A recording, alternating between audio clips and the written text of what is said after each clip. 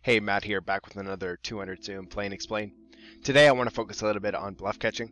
As you probably noticed over the past few months, I've been incorporating more and more exploitative elements into my game. And when you node lock Installable Villain over bluffs one combo, it'll call all bluff catchers, and if you node lock Villain under bluffs one combo, it will fold all bluff catchers. So is it really ever that close and worth RNGing or thinking about blockers in river bluff catching spots? I mean, maybe sometimes if the ranges are tight or the blockers are just so good that it'll throw off the ratios, but even then you don't need to RNG, it's just going to be a pure call or pure fold. And as long as we're playing humans, people will never be perfectly balanced on the river, they're, they're going to be over or under bluffing. So that's going to be the focus today. And uh, with that, let's uh, get started.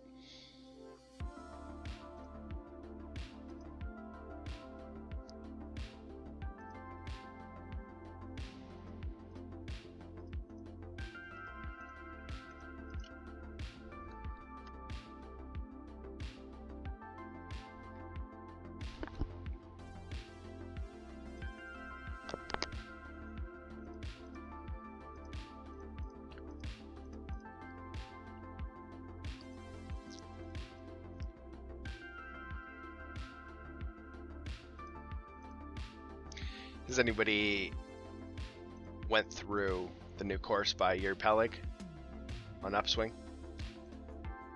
If so, I'd love to uh, hear your comments below.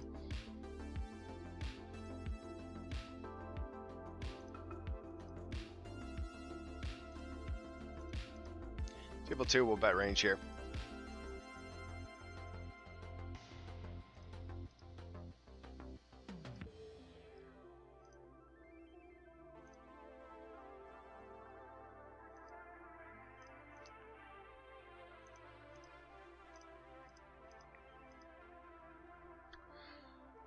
Wonder if this is a spot where we actually could incorporate a block size on the turn. Usually I don't use two sizes, but this low board with the one high card feels like it, it would be nice to to have that, but since I'm not really sure, I'll check, but I'll look at that later. One thing I do want to say about RNGing though is oftentimes people say you don't really need to RNG because it's just so clear that one option is better than the other, but I don't know if that's necessarily true. Um, let's just take flop c-bet for example. Uh, a lot of people just want to bet range because they say, oh well, the river exploits are going to be bigger on the river when you bet small flop, uh, and it just simplifies your strategy, whatever. But people make so many mistakes in the delay nodes that I don't think it's clear that one size is necessarily, or like betting range is necessarily higher EV than checking back. Uh, let's here.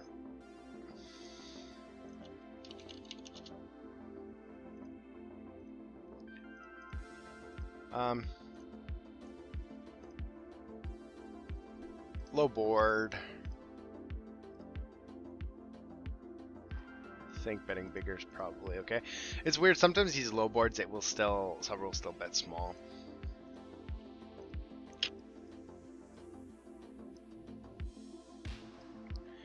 There's the fact there's a lot of pair plus draw. I don't mind that.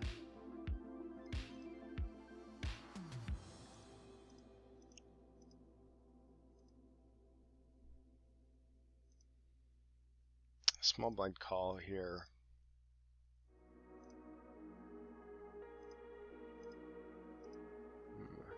Yeah, so you just give up now on top right.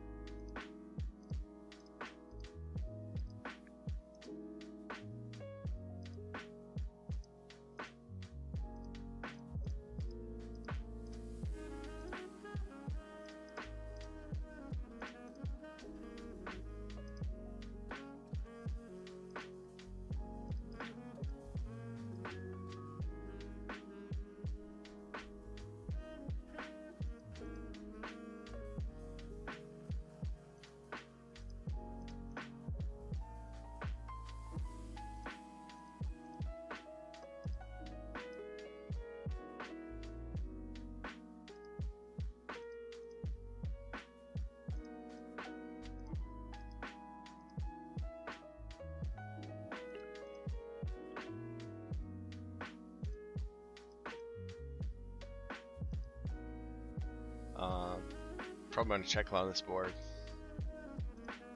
It's usually the way that I construct my c betting range is I first think about, okay, what size do I want to use, and then how much of a checking range I want to use. And if I want to have a big checking range, then I need to check range, check a lot uh, of like bluffs and just like thin value and whatnot. So, um, yeah, here goes check check. I guess rolling high is probably good to bet.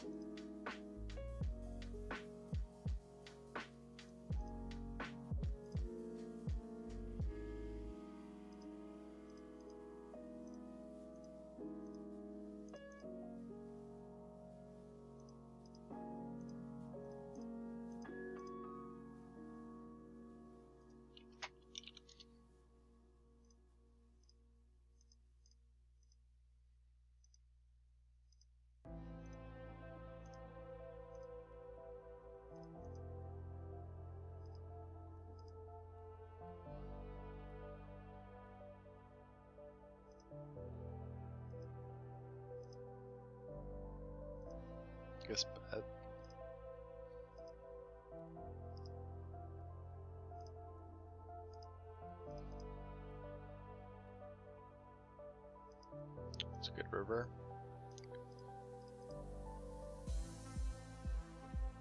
Probably overbetting. I mean, overbetting when we have almost the nuts is usually good, but I think especially now since we don't block the calls, so.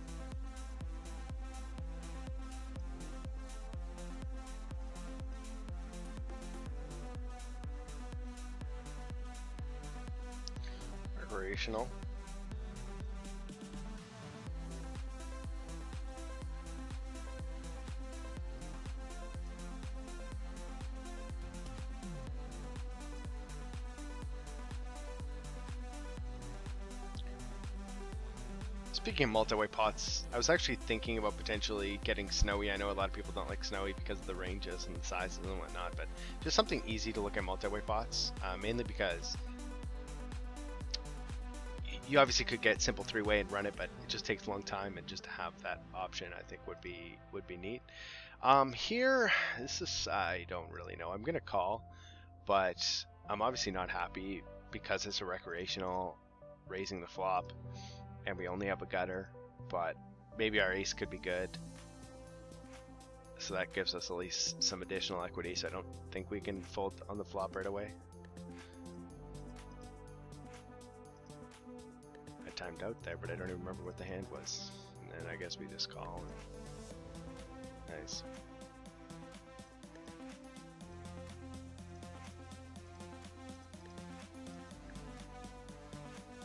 Oh yeah, the multi-way one. But yeah, I don't know if anybody watching has played around with it, and if it would be worthwhile to get. It kind of sucks that you can really only buy an annual plan. There's no monthly option.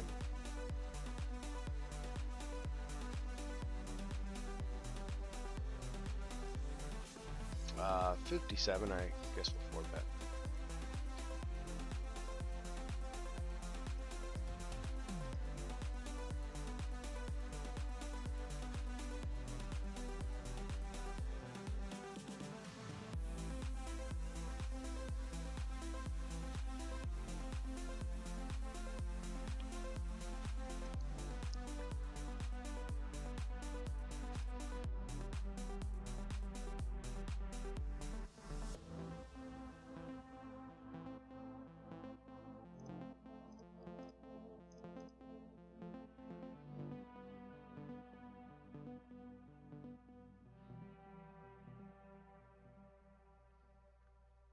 Uh, 63, why not? It's a limp pot. No clue how much I'm supposed to stab, but I would assume it's generally good.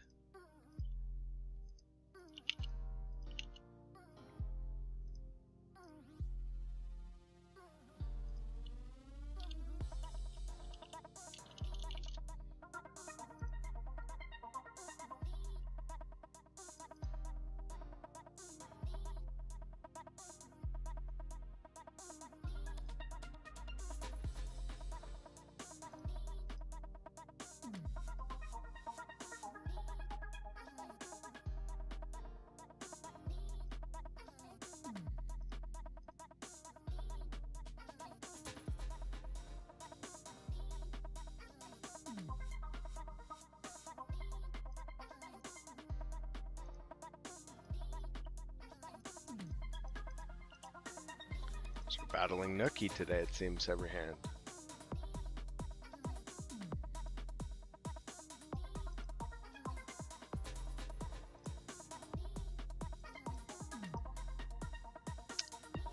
Definitely used to some interesting sizings with that small or huge or raising. It definitely takes some weird lines. But I'm pretty sure he's winning, so. Also, just because it's a weird line doesn't necessarily mean it's not plus EV.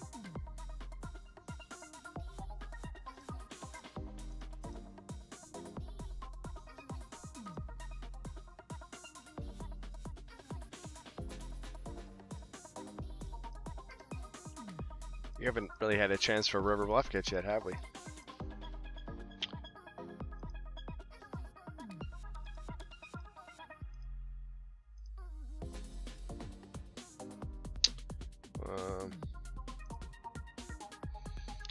Funny things about that player.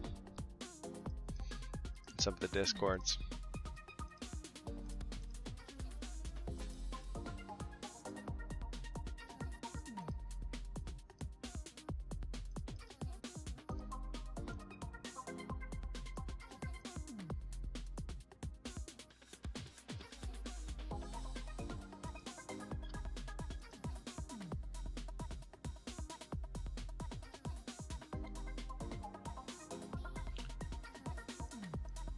Nice. Uh, I guess I, I don't really know what size would be best to be honest, especially the fact that we're deep. That's something that I'm uh, trying to do now is run some scripts for deep spots because I feel like the edge there uh, to be gained is huge. Obviously, make no mistake, uh, I could still improve a lot 100 BB. I mean, who who couldn't? But in terms of like how much better am I going to get at 100 BB versus, you know, looking at deep sims, I think there's just way more win rate to be gained looking at deep. I think here I could still overbet. I mean, if we have 9x, we're still good, and there's a chance there is some 8x in in positions. Wow. Uh, so this is our first kind of river bluff getting spot. So the reality of the situation is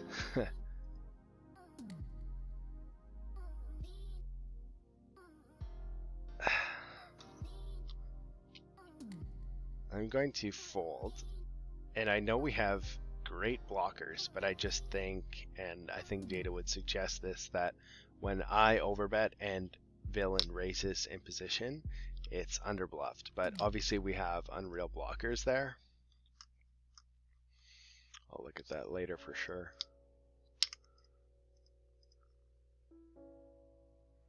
Oh, I don't think we need to bet here.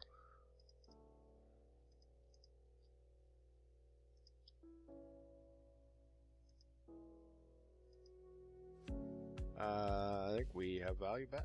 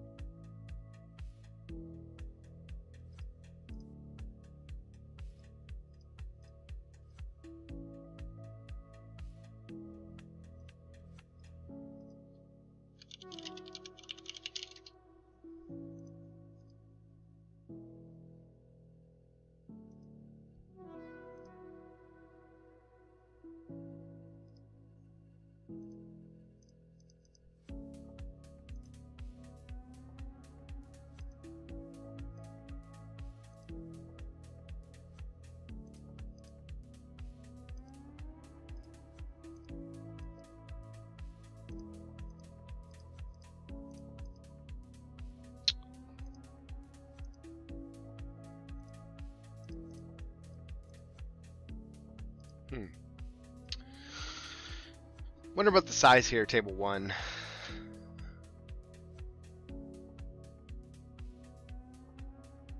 See, I've been, I've been thinking about this spot a lot lately, actually.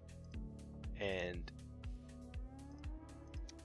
it's spots where our hand would prefer to check raise or bet small re-raise. And it's an interesting spot because in position generally will over bluff in a bet check bet spot, for example. But with their value, they don't necessarily bet call that always. Or there's a chance that they don't even thin value bet enough. So I actually wonder if at a spot like this, even though maybe overbet may never really be a thing, or maybe it is a thing, I don't know, but let's just pretend that it isn't for this example. Maybe in practice it actually is better for the reasons of are they really going to bet call enough or raise enough when we block. So maybe in retrospect, I would have actually preferred to just bet a bigger size myself. But curious uh, what you might think of that.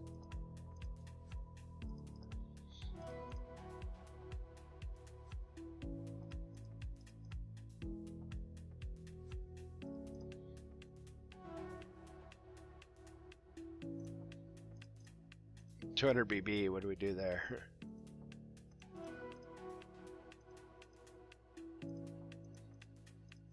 probably three bet. I probably should not have folded up.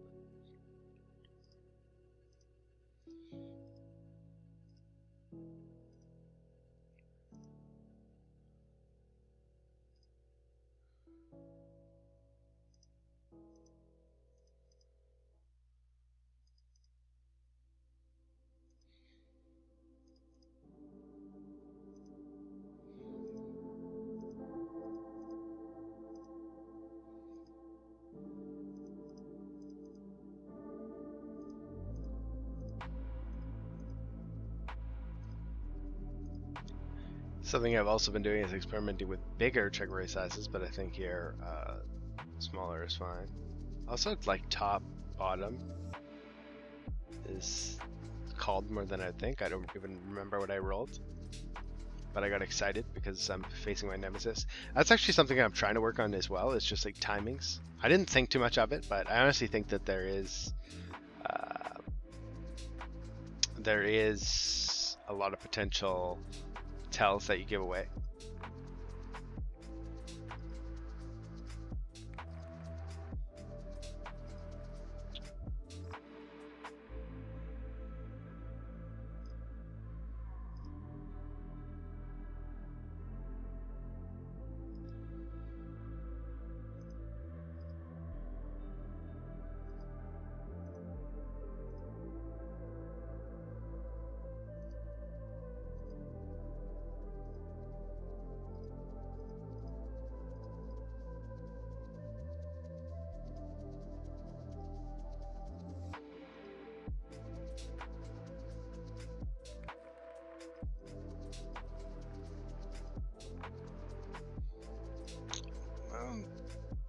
Really know what's the best strategy I could use there. Probably a bunch of things. So this seems fine.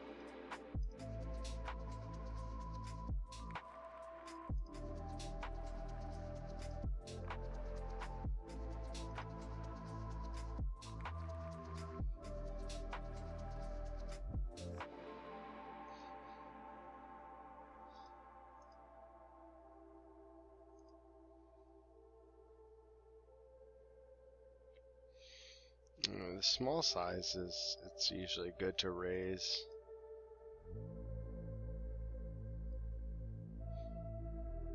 Yeah, why not? Hand has some reasonable properties to do it with.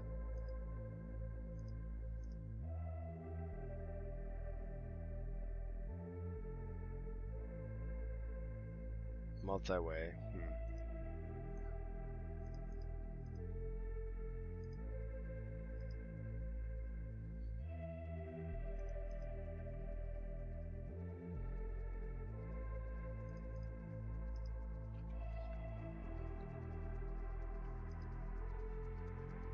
Might be overdoing it there with the ace nine, but I don't think it's that bad.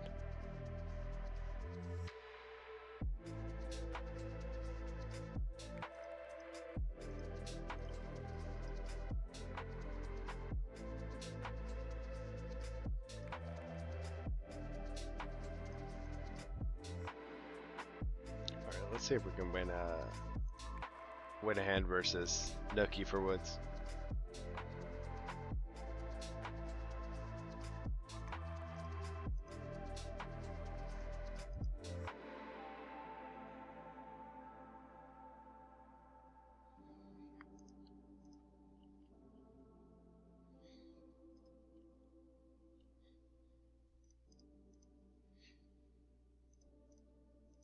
Not many hands. But I still think it'll be worth worth posting just because not every session has a bunch of hands, even if it's a little bit boring. I think I touched on a few interesting topics.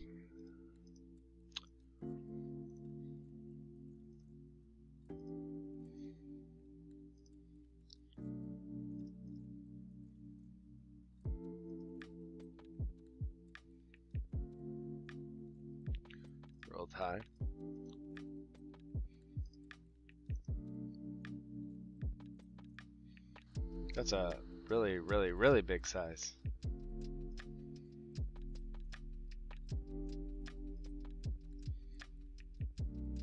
That's a really big size. I think we can maybe fold sevens versus that huge size. Hmm. I guess he's thinking out of position to have way more deuce so maybe the two, maybe that size actually is a thing. But then versus that size, I suppose I probably don't have to call.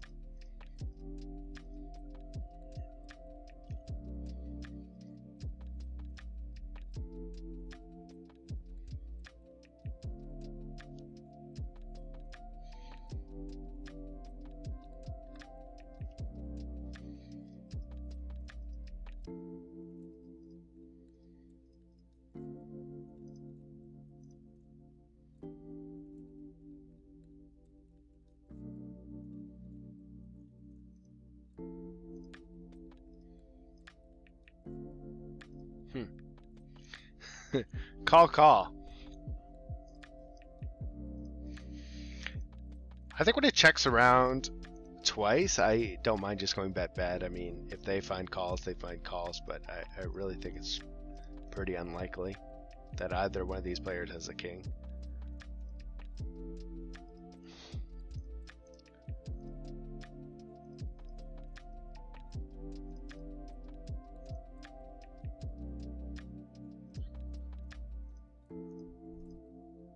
28, we'll check.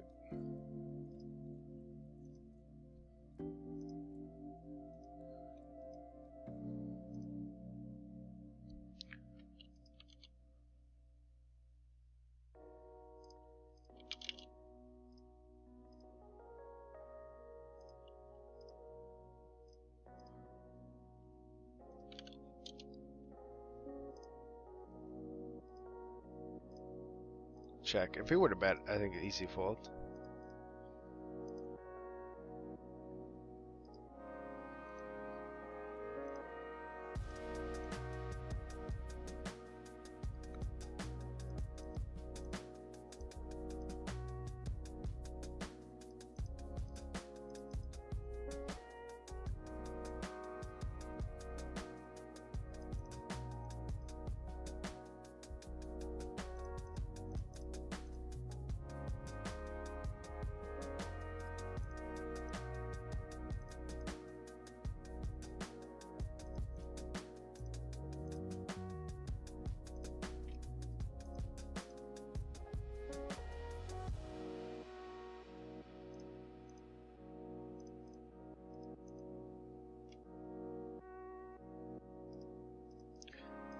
Sorry, not talking too much this video, but I don't really know what else more to say in some of these hands.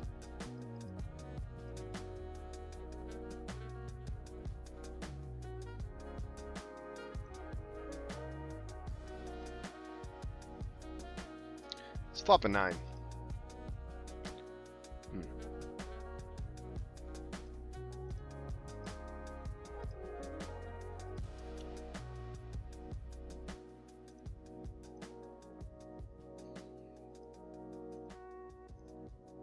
check on this flop probably could do anything. It comes back to what I was saying at the beginning of the video. It's hard to know. You'd have to like node lock every single turn, every single river to actually figure out what the most optimal strategy would be to play the flop, but uh, it's probably easier just to say, okay, whatever, I'm just going to RNG it, and there's probably going to be EV in both lines, so.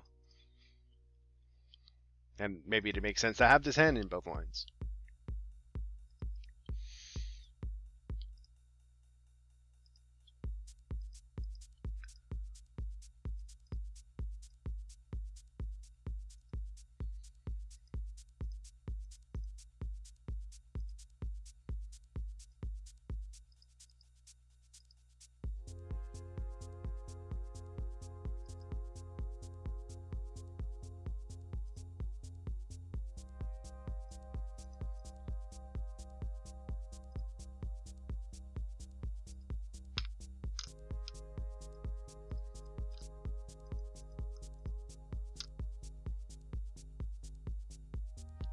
Remember 10 5's the cutoff. That actually might be a fold.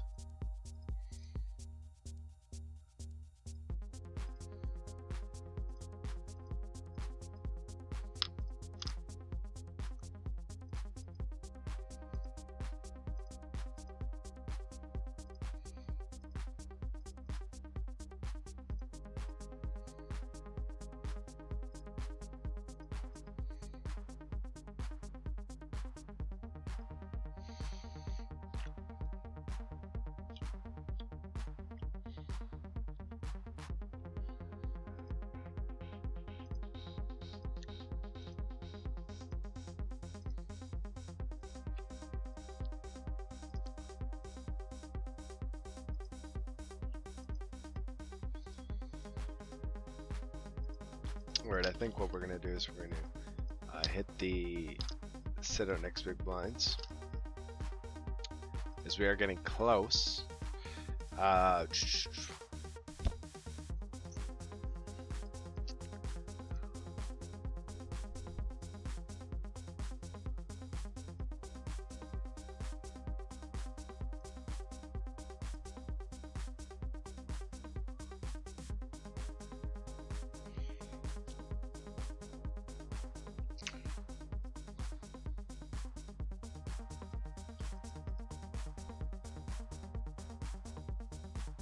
We're deep here. It's nice, uh, nice flop deep.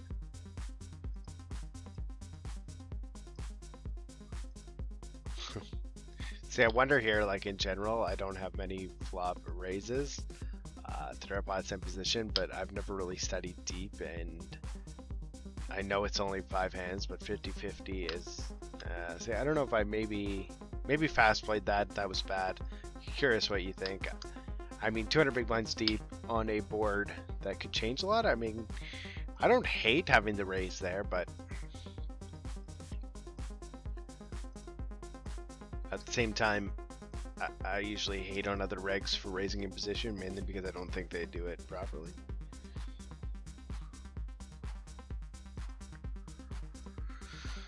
Eight.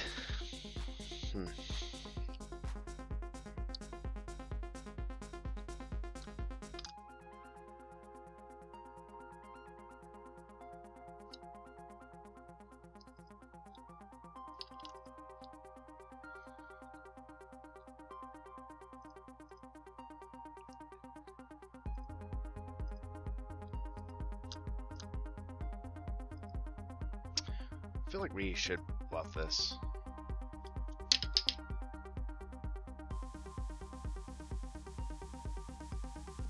Donk flop. Question is how much nothing does he have that we could just check check and win? I think there's some there's some EV in just check checking and winning, but the question is is it higher EV to bet than check? And I think it's close. I think when in doubt, you probably should just bet.